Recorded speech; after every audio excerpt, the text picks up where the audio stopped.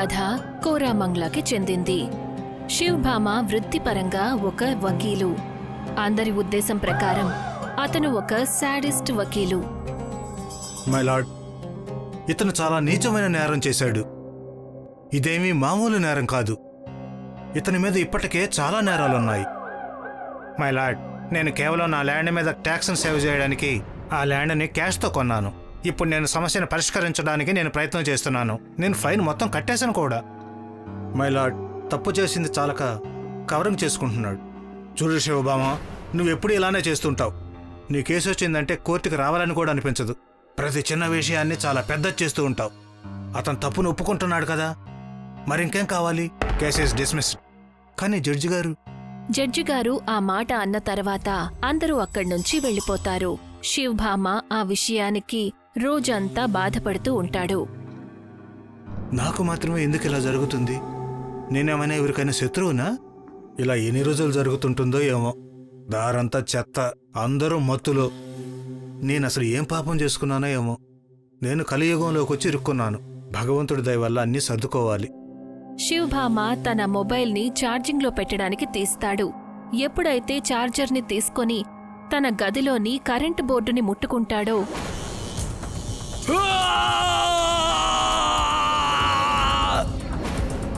Short circuit కావడం వల్ల అతను ఎంతో దారుణంగా చనిపోతాడు.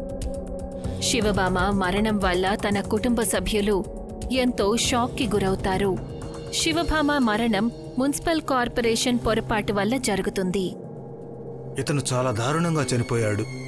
పాపం తన జీవితంలో ఇతను ఏమీ సాధించలేదు. కానీ షార్ట్ సర్క్యూట్ వల్ల చనిపోయాడు. ఇది కరెంట్ ఆఫీసుల నిర్లక్ష్యం వల్లే జరిగింది. వాళ్ళు ఎప్పుడు ఇంతే? ఏది ఎప్పుడు సరిగా చేయరు ఎప్పుడు ఇలానే జరుగుతుంది. ఇలా జరగటం ఇది రెండోసారి. ఆ పోలీస్ అతని పేరు అంశుమన్ కొత్తగా ఆ ఊరికి అతను పోస్టింగ్కి వస్తాడు. అతను గవర్నమెంట్ ఆఫీసర్స్ని తన దగ్గరికి పిలిపిస్తాడు. కోరం మంగ్లా ప్రజలు చట్టాన్ని అసలు ఏమాత్రం పాటించరు. సార్ నేనేమీ చేయలేదు. నాకు భార్య పిల్లలున్నారు. అలాగే నాకు ఒక గర్ల్ ఫ్రెండ్ కూడా ఉంది. నేనెందుకు ఇటువంటి పనులు చేస్తాను? ఆన్ డ్యూటీలో నువ్వు మందు తాగున్నావు. ఇదేం పద్ధతి? ఇలానే ఉద్యోగం చేస్తారా? ఏం చేయమంటారు సార్? ఎప్పుడు పడితే అప్పుడు ఎక్కడ పడితే అక్కడ పనులు చేయాల్సి వస్తుంది. బాడీకి ఎనర్జీ కావాలి కదా. ఇది నాకు టానిక్లా పనిచేస్తుంది. అదే అంటారు కదా ఎనర్జీ డ్రింక్. ఎందుకు సార్ మా టైం వేస్ట్ చేస్తున్నారు? మమ్మల్ని వెళ్ళనివ్వండి. ఆలస్యం అయిపోతుంది మాకు. సరే సరే వెళ్ళండి. వెళ్ళండి ఇక్కడి నుంచి. ఆ కరెంటు ఆఫీసర్స్ ఇద్దరూ కూడా అక్కడి నుంచి వెళ్ళిపోతారు. అప్పుడు అంశుమన్ తన కానిస్టేబుల్తో ఇలా అంటాడు. వీళ్ళిద్దరి మీద దృష్టి పెట్టించు. శివభామ మరణం విషయంలో వీరే బాధ్యులు. మనకు ఒక ఆధారం దొరకాలి. అప్పుడు వీళ్ళని అరెస్ట్ చేసేద్దాం. మీరు ఎలా చెప్తే అలా చేద్దాం సార్. అంశుమన్ శివభామ గదిని పరిశీలించడానికి వెళ్తాడు. ఇక శివభామ ల్యాప్టాప్ని తెరిచి అందులో తన ఫోటోస్ని చూడడం మొదలు పెడతాడు. ఇతని ఫోటోలు చూస్తుంటే చాలా డిసిప్లైన్ లాయర్లా అనిపిస్తున్నాడు. ప్రతి కేస్ డీటెయిల్స్ ల్యాప్టాప్లో ఉన్నాయి. పాపం అనవసరంగా చనిపోయాడు. అంశుమన్ ల్యాప్టాప్ని మూసి వెళ్ళబోతూ ఉండగా ఉన్నట్టుండి మెరుపులు మెరుస్తాయి. ఆ ల్యాప్టాప్ ఆఫ్ అయిపోతుంది. ల్యాప్టాప్ అతని చేతుల్లోనే ఉంది కాబట్టి అంశుమన్కి గట్టిగా షాక్ తగులుతుంది. ఏం జరుగుతుంది ఇక్కడ! అంశుమన్ తన చేతులతో ల్యాప్టాప్ని కిందకు తోసేస్తాడు. ఆ తర్వాత తన ఇంటికి బండిలో వెళ్తూ ఉంటాడు. అంశుమన్ ఎంత భయపడతాడు అంటే తన బండి స్పీడ్ వన్ ట్వంటీ కిలోమీటర్ స్పీడ్లో వెళ్తూ ఉంటుంది. ఇంకాస్త గట్టిగా షాక్ కొట్టుంటే నేను అక్కడే చనిపోయి ఉండేవాడిని. ఇంకా నయం తప్పించుకున్నాను. అంశుమన్ డిన్నర్ చేసి నిద్రపోతాడు. అప్పటికే టైం మూడవుతుంది. పౌర్ణమి రాత్రి. ఉన్నట్టుండి అంశుమన్ మంచం మీద నుంచి లేస్తాడు. అతని కళ్ళు ఎర్రగా సగం మొహం కూడా ఎర్రగా ఉంటుంది. జుట్టంతా చిందరవందరగా ఉంటుంది. బట్టలు విచిత్రంగా ఉంటాయి. అంశుమన్ తన ఇంట్లో నుంచి బయటికి వస్తాడు. అంశుమన్ అపరిచితుడి వేషంలో ఉంటాడు. శివభామ అపరిచిత రూపం ఇంకా భయంకరమైన రూపంలో ఆ కరెంటు విభాగం ఆఫీసర్ల దగ్గరికి వెళ్తాడు. వాళ్ళు ఆ సమయంలో మత్తులో ఉంటారు. నువ్వు. నువ్వేంటి కార్టూన్లో నుంచి వచ్చావా? ఇంత రాత్రి వేళ టీవీలో నుంచి బయటకు వచ్చావా ఏంటి? నువ్వు సరిగ్గా పనులు ఎందుకు చేయవు? నేను చేయలేబా ఏం చేస్తావో చేసుకో. మందు కూడా తాగనీయవా? సరే నీకు నేను మందు తాగిస్తాను. ఆ సమయంలో అపరిచితుడు అంటే అంశుమన్ ఆ ఉద్యోగి తలను పట్టుకొని నేల మీద నుండి లాక్కుంటూ పక్కనే ఉన్న రెస్టారెంట్కి తీసుకువెళ్తాడు. నన్ను వదిలేయి. నన్ను వదిలేసేయి. నన్ను వదిలేయి. వెళ్ళనివ్వు అరే నేనెప్పుడు ఇంకా మందు తాగాను. నువ్వు మందు తాగాలి కదా? నీకు మందు తాగించడానికే తీసుకెళ్తున్నాను. అపరిచితుడు అతన్ని ఎంతలా కొడతాడు అంటే అతని ఎముకలన్నీ విరిగిపోతాయి. నన్ను వదిలేయి. ఈసారి నుంచి నేను పని బాగా చేస్తాను. అస్సలు మందు తాగను. కరెంటు ఉద్యోగి గట్టిగా అరుస్తూ ఉంటాడు. కాని అపరిచితుడు అతని మాటలు వినిపించుకోడు. అపరిచితుడు మూసి ఉన్న ఆ రెస్టారెంట్లో ఒక పెద్ద కడాయిని తీసుకొని అందులో నూనెను పోస్తాడు. ఆ నూనెను బాగా వేడెక్కిస్తాడు. నూనెలో మసాలాలు ఇంకా పసుపు వేసి ఆ ఉద్యోగితో మాట్లాడడం మొదలు పెడతాడు మందు తాగడం అంటే నీకు చాలా ఇష్టం కదా? తాగి పనిచేస్తావు కదా? ఇప్పుడు నీ సంగతి తెలుస్తాను. పద చెప్తాను. వద్దు. వద్దు. నువ్వు నన్ను ఏం చేస్తున్నావు? నువ్వేం చేయబోతున్నావు నన్ను? నన్ను వదిలేసి నన్ను వదిలిపెట్టేసే నన్ను వెళ్ళ నువ్వు. అపరిచితుడు ఆ ఉద్యోగిని మరుగుతున్న నూనెలో పడేస్తాడు. అతను బాధతో అరుస్తూ ఉంటాడు. కాని అపరిచితుడు అతని మాటలు పట్టించుకోడు. ఆ తర్వాత అపరిచితుడు అక్కడి నుంచి వెళ్ళిపోతాడు. కరెంటు విభాగం ఉద్యోగి చావుని చూసి అందరూ కూడా ఆశ్చర్యపోతారు. ఎవరూ కూడా నమ్మలేకపోతారు. ఇంత దారుణంగా ఎవరైనా ఎవరినైనా ఎలా చంపగలరు అని. ఇతన్ని చాలా దారుణంగా చంపేశారు. చూస్తుంటే చాలా జాలేస్తుంది. దీనంతటికి ఎవరు కారణం? నా ఫ్రెండ్ నన్ను వదిలిపెట్టి వెళ్ళిపోయాడా? నా ఫ్రెండ్ నన్ను వదిలిపెట్టి వెళ్ళిపోయాడా? భగవంతుడా పాపం తన స్నేహితుడు. అసలు ఇదంతా ఎందుకు జరిగింది? నాకేం అర్థం కావడం లేదు. వీళ్ళు మందు తాగుతూ ఉండేవాళ్ళు అంతే కదా? పాపం ఒంటరిగా తాగాలి ఇప్పుడు. భయంతో ఎవరూ కూడా ఆ నూనె బాండి దగ్గరకు కూడా వెళ్ళరు అంతలో అక్కడికి అంశుమన్ ఇంకా అతని తోటి కానిస్టేబుల్స్ వస్తారు. వాళ్ళొచ్చి ఇలా అంటారు. అందరూ వెనక్కి వెళ్ళండి. ఇక్కడ ఏదో సంఘటన జరిగింది. చాలా వాసన వస్తుంది. సార్ ఎవరు అతన్ని చాలా దారుణంగా చంపారు. దీనంతటి వెనక ఎవరు సైకో ఉన్నట్లున్నారు. మరుగుతున్న నూనెలో పడేశారు. చూడండి సార్. మనం దీని గురించి వీలైనంత త్వరగా తెలుసుకోవాలి. అంతలో అక్కడికి అంశుమన్ హెడ్ ఆఫీసర్ రఘువీర్ వస్తాడు. అతను అంశుమన్తో ఇలా అంటాడు. అంశుమన్ బోలెడని కేసులు రాత్రి జరిగాయి. వీటన్నిటి వెనుక ఎవరున్నారో మనకు తెలియలేదు. మనం దీని గురించి త్వరగా తెలుసుకోవాలి. నేను తప్పకుండా తెలుసుకుంటాను సార్. దాని గురించి మీరేం కంగారు పడకండి. రఘువీర్ ఇంకా మిగతా వాళ్ళకి తెలుస్తుందా? అంశుమనే అపరిచితుడు అని? అంశుమన్ తనని తాను అపరిచితుడి రూపంలో చూసుకోగలడా? తెలుసుకోవడానికి చూస్తూ ఉండండి Kuku TV horror. Aparichitudu part two కోసం ఎదురు చూస్తూ ఉండండి. ఈ కథ పంతొమ్మిది వందల యాభై సంవత్సరం దగ్గరదే. రాత్రి నిశ్శబ్దంలో చల్లటి గాలుల శబ్దం మధ్యలో ఒక గుర్రపు బండి అడవి మధ్యలో నుండి చాలా వేగంగా వెళ్తూ ఉంటుంది. కొజ్జు అన్నందు గుర్రపు బండిని చాలా వేగంగా నడిపిస్తూ ఉంటాడు. ఎలా అనిపిస్తుంది అంటే అతను ఆ అడవి దారిలో నుండి చాలా త్వరగా బయటపడాలి అనుకుంటున్నట్టు. అప్పుడే ఒక పోలీస్ అతను ఆ గుర్రపు బండి ముందుకు వచ్చి నిలబడతాడు. హఠాత్తుగా ఎదురుగా నిలబడ్డ పోలీసుని చూసి కోజ్వాన్ గుర్రపు బండిని టక్కున ఆపుతాడు. బండి డిప్ బ్యాలెన్స్ అవుతుంది. ఇంకా బండిలో కూర్చున్న ఠాకూర్ వీరేంద్ర చెల్లెలు దివ్య కింద పడిపోతుంది. ఇంకా గుర్రం తాడు వదిలించుకొని పారిపోతుంది. మీకు దెబ్బలు తగలలేదు కదా అమ్మగారు? నేను బానే ఉన్నానందు ఇది ఎక్కడ పద్ధతి అండి పోలీస్ బాబు గారు? మమ్మల్ని ఇలా మధ్యరైతుగా ఆపారు ఆ పోలీస్ అతని కళ్ళు ఆ చీకట్లో చాలా విచిత్రంగా మెరుస్తూ ఉంటాయి. నేను పోలీసు వాడిని. నాకు అధికారం ఉంది నీ గుర్రపు బండిని ఆపడానికి. నీకు నేనెవరో తెలియదనుకుంటా. నేను ఠాగూర్ వీరేంద్ర గారి దగ్గర పనిచేసే పనివాడిని. అతని చెల్లెలు దివ్య గారు. ఒకవేళ ఠాగూర్ గారికి ఈ విషయం తెలిస్తే నీ ఉద్యోగం ఊడిపోతుంది. వీరేంద్ర మాట వినగానే ఆ పోలీస్ అతను బాగా నవ్వుతూ ఉంటాడు. ఆ చీకటి రాత్రిలో అతని నవ్వు వెనక కనిపిస్తున్న అతని పళ్ళు చాలా భయంకరంగా కనిపిస్తూ ఉంటాయి. ఠాగూర్ చెల్లెల్ని జాగ్రత్తగా తీసుకెళ్ళడం నా బాధ్యత. ఇప్పుడు నీ గుర్రబండి ఎలాగూ పాడైంది? పదండి దగ్గరలో నా పోలీస్ స్టేషన్ ఉంది. నేను ఉదయాన్నే మీ ఇద్దరిని కొంతమంది పోలీసులతో పంపిస్తాను. అర్ధరాత్రి సమయంలో ఈ ప్రదేశంలో తోడేలు తిరుగుతుంది. నందు దగ్గర ఆ పోలీస్ మాటలు వినడం తప్ప ఇంకే దారి కనబడలేదు. నందు ఇంకా దివ్య ఇద్దరు ఆ పోలీస్ అతని వెనకాలే వెళ్తూ ఉంటారు. కాసేపటి తర్వాత వాళ్ళిద్దరూ విరిగిపోయి ఉన్న ఒక విచిత్రమైన బంగ్లాకి చేరుకుంటారు. దివ్య చాలా భయపడిపోతుంది.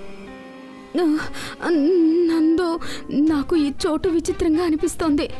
ఎలా చూసినా ఇది నాకు పోలీస్ స్టేషన్లా అనిపించడం లేదు. ఇక్కడ నిశ్శబ్దం తప్ప ఇంకా ఏమీ లేదు. మీరు సరిగ్గా చెప్తున్నారమ్మగారు నాకు ఈ ప్రదేశం కూడా భయంకరంగానే ఉంది. అప్పుడే వాళ్ళిద్దరికీ ఆ పోలీస్ అతన్ని శబ్దం వినిపిస్తోంది. అతను ఒక విరిగిపోయిన కుర్చీలో కూర్చుని ఉంటాడు.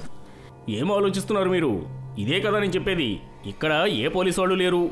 ఇది అసలు చాలా పాత పోలీస్ స్టేషన్ నందు. పదా వెళ్దాము. పోలీస్ అతని నోట్లో నుండి నందు అని అతని పేరుని విని నందు చాలా ఆశ్చర్యపోతాడు. మీకు నా పేరు ఎలా తెలుసు? ఇప్పటి వరకు నేను మీకు నా పేరు చెప్పలేదు కదా? నందు అలా అనగానే హఠాత్తుగా ఆ పోలీస్ అతని మొహం మారిపోతుంది. అతని కళ్ళు చాలా పెద్దగా భయంకరంగా మారిపోతాయి. ఇంకా అతని మొహం కూడా చాలా భయంకరంగా ఉంటుంది. చూస్తూ చూస్తూనే నందు ఇంకా దివ్య అరుపు నిశ్శబ్దాన్ని బద్దలు కొడతాయి. ఉదయం వాళ్ళిద్దరి శవాలు పోలీసు వాళ్ళకి అదే బంగ్లా బయట దొరుకుతాయి. ఠాకూర్ వీరేంద్ర ఒక యువకుడు. అతను ఏడ్చి ఏడ్చి చాలా బాధపడతాడు. దివ్య అంతిమ సంస్కారాలు జరుగుతాయి. మరుసటి రోజు ఠాకూర్ అతనికి కావలసిన వాళ్ళు రతన్ ఇంకా బిర్జుని హవేలీకి పిలుస్తాడు. రతన్ బిర్జు మీ ఇద్దరిపైన నమ్మకం ఉంది. ఆ పోలీసు వాళ్ళు ఈ హంతకుణ్ణి పట్టుకుంటారు అని. నాకు వాళ్ళపై నమ్మకం లేదు. నా చెల్లెల్ని మరియు నందుని ఎవరు చంపారో మీరే తెలుసుకోండి. నిజంగా ఠాగూర్ గారు దివ్య చెల్లెని చాలా ఘోరంగా చంపేశారు. కానీ మీ కులంలోని సాధు మహారాజు ఏమంటున్నారంటే నాకు సాధువు మాటల మీద ఎలాంటి నమ్మకము లేదు. ఆ హంతకుడు ఎవరో కానీ నా చెల్లెల్ని చాలా ఘోరంగా చంపి తన మాంసం కూడా తినేశాడు. మీ ఇద్దరు కూడా అదే చోటికి వెళ్ళి కాపలా కాయండి. నా చెల్లెలి శవం ఎక్కడైతే దొరికిందో అక్కడికి వెళ్ళండి. రాత్రి చీకట్లో బిర్జు ఇంకా రతన్ వాళ్ళిద్దరి గుర్రాలను తీసుకుని ఆ బంగ్లా దగ్గరికి చేరుకుంటారు. కాసేపటి తర్వాత ఇద్దరు ఆ బంగ్లా లోపలికి వెళ్ళి చేతిలో నిప్పు కర్ర పట్టుకుని అక్కడ ఇక్కడ చూస్తూ ఉంటారు. అప్పుడే ఆ బంగ్లాలోకి హఠాత్తుగా ఒక పెద్ద రాబందు ఎగురుతూ వచ్చింది. ఇంకా బిర్జు తలపాగా దాని కాళ్ళకి పట్టుకుని వెళ్ళిపోతుంది. ఇంత పెద్ద పక్షిని నేను ఎప్పటి వరకు ఎక్కడా కూడా చూడనేలేదు నాకు అనిపిస్తుంది ఠాగూర్ గారి చెల్లెల్ని ఎవరూ మనిషి చంపలేదేమో అనిపిస్తుంది. నాకు కూడా అదే అనిపిస్తుంది. ఖచ్చితంగా అదే కారణమై ఉంటుంది. మనం కూడా ఈ భయంకరమైన చోటు నుంచి త్వరగా వెళ్ళిపోవాలి. అప్పుడే హఠాత్తుగా వాళ్ళ వెనక నుండి ఏదో శబ్దం వాళ్ళకి వినిపిస్తుంది. మీ ఇద్దరు ఇప్పుడు ఇక్కడి నుంచి ప్రాణాలతో వెళ్ళలేరు. వాళ్ళిద్దరూ వెనక్కి తిరిగి చూసేసరికి అక్కడ అదే పోలీస్ అతను నిలబడి ఉంటాడు. ఇంకా వాళ్ళని తినేసేటట్టు చూస్తూ ఉంటాడు.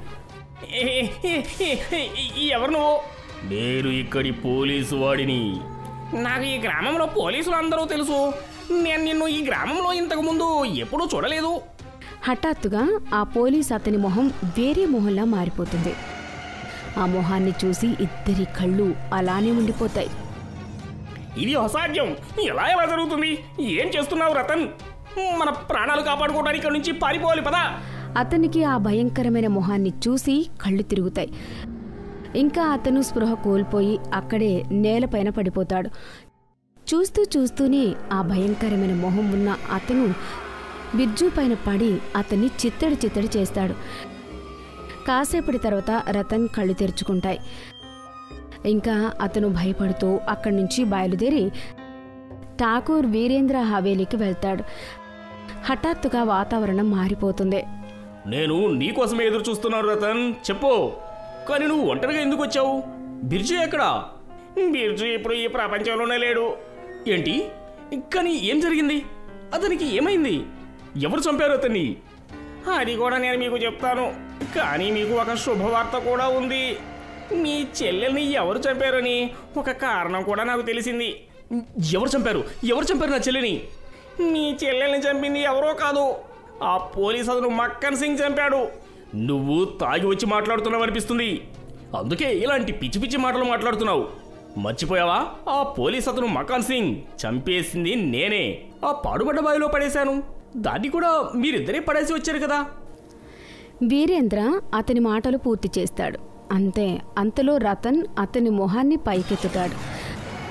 రతన్ మొహాన్ని చూసి వీరేంద్ర చాలా ఘోరంగా భయపడతాడు. ఎందుకంటే అతని ముందు రతన్కి బదులుగా పోలీస్ అతను మక్కన్ సింగ్ నిలబడి ఉంటాడు. ఇది అసాధ్యం. అలా జరగడానికి వీలు లేదు. నువ్వైతే చనిపోయావు కదా. నేను నిన్ను నా చేతులతో చంపేశాను. నువ్వెలా బ్రతకగలవు? సరిగ్గా చెప్పావు నువ్వు ఠాగూర్. నువ్వు నీ చేతులతోనే నన్ను చంపేశావు. నువ్వు ఈ గ్రామంలో చాలా మంది ఆడవాళ్ళని చేరి చేశావు ఎందుకంటే నువ్వు ప్రతి ఒక్క పోలీసు వాడిని కొనేశావు. కానీ నేను నీకు అమ్ముడు పోలేదు కాబట్టి నువ్వు నన్ను చంపి నీతో ఉన్న వాళ్ళ సహాయంతో ఆ చీకటి బావిలో పడేశావు. ఆ బావి శపించబడింది. శపించిన బావి? అసలు ఏం చెప్పాలనుకుంటున్నావు? అమావాస్య రోజు ఎవరైనా చనిపోయినా ఆ వ్యక్తి శవాన్ని ఏదైనా జంతువుని ఆ బావిలో పడేస్తే వాళ్ళు ఒక పిశాచాలలా మారిపోతారు. నువ్వు ఆ రాత్రి చంపి నన్ను అందులో పడేశావు. అప్పుడే ఠాకూర్ వీరేంద్ర సింగ్ పిలిచిన సాధు బాబా శబ్దం వినిపిస్తుంది. వీరేంద్రని వదిలిపెట్టు మక్కన్ సింగ్. నాకు తెలుసు వీరేంద్ర ఒక అత్యాశ గలవాడు. ఇంకా నిన్ను చంపిన హంతకుడు అని. అతను చేసిన తప్పుకి ఖచ్చితంగా శిక్ష పడుతుంది వదిలిపెట్టు. అతను నన్ను హత్య చేశాడు. అతడు నిన్ను చంపినప్పుడు నువ్వు ఒక మామూలు మనిషివి కానీ ఇప్పుడు నువ్వు ఒక ఆత్మవి.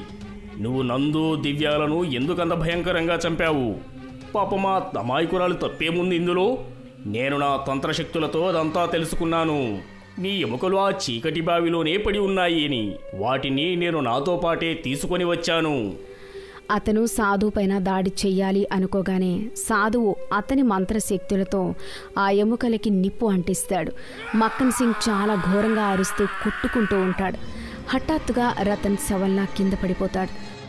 ఇంకా మక్కన్ సింగ్ ఆత్మ పొగలా మారి గాలిలో కలిసిపోతుంది. మరుసటి రోజు ఠాకూర్ వీరేంద్ర సింగ్ని పోలీసులు పట్టుకుని మక్కన్ సింగ్ని చంపిన నేరం మీద జైల్లో వేస్తారు. మక్కన్ సింగ్ని చాలా రోజులుగా వెతుకుతూ ఉన్నారు. ఇప్పుడు పోలీసులకు తెలిసిపోయింది మక్కన్ సింగ్ని హత్య చేశారు అని.